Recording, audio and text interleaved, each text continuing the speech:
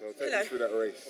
Well, it's, like I said, um, I said to someone down there, it's a bit bittersweet because I've got so many bronze and so many silvers, and I wanted to win and to sep- be separated by two hundreds.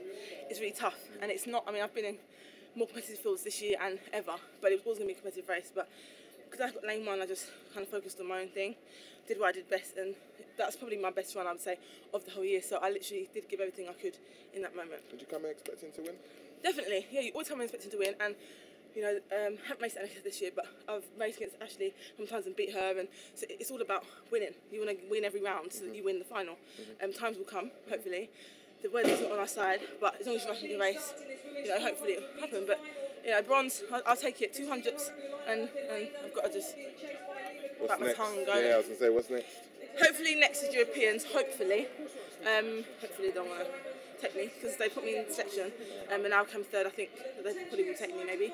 So I'm hoping that I get another chance now to qualify, or at least go and you know get my time down in my quick because I definitely think that I'm you know worth better than that. And that just showed me what I've got left in the tank.